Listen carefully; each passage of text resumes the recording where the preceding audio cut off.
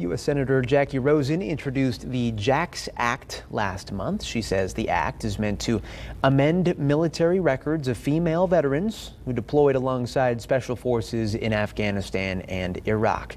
The senator says the goal is to make sure their records accurately reflect their service as members of cultural support teams, or CSTS for short.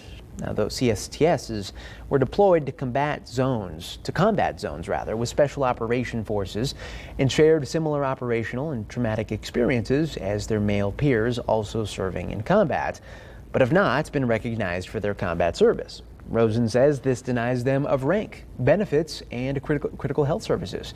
The JAX Act, if passed, would require the review of military records for women who served between 2010 and 2021.